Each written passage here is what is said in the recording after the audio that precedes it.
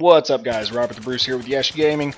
We got a pretty short video for you today. It's on an assignment where you had to get 100 LSAT kills, 25 mortar kills, and 15 suppression ribbons. Uh, I did not like this assignment at all for a couple of different reasons, hence me naming the video Wasting Time Unlocking LSAT Camo for the, uh, it's the digital woodland camo for this gun.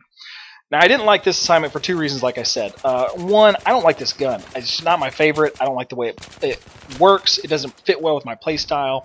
Don't get all pissy and start throwing up comments how you have 10 service stars with it or something. If you if you like this gun, that's great. Everyone has their own playstyle and they like their own guns for certain reasons. Personally, I think there are better options for light machine guns, and this one is just towards the bottom of my list. So I hated having to get the kills. You know, can you do well with it? Yes, I had some good runs with it. Again, it's just not my favorite.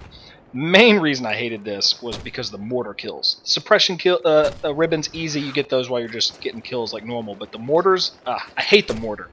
I don't think it's very effective. Yes, you can do okay with it, but it, again, I feel like you can be so much more effective up in in the battle, up close and personal, doing something else. So I had the most success with it when I was um, playing rush like I am here, especially when I had a buddy grab a mortar with me. We could actually kind of get kills quicker if we were both hitting at the same spot and kind of coordinating our shots. And I felt like I was actually sort of helping the team. You know, they'd arm an MCOM and I could drop smoke on it and drop some mortar shells on it and, you know, sort of pretend like I was being a viable asset. But again, at the end of the day, I don't like mortars either. So all in all, this assignment, it was just not fun for me. I really only completed it because I started it and then I hate leaving stuff unfinished. But um, eventually, after all that garbage, you get the camo. There it is, the digital woodland for the LSAT. And that first clip, I actually re-show it. Uh, there is the camo. Already had it on there uh, for that first clip I showed. Um, but yeah, that's it.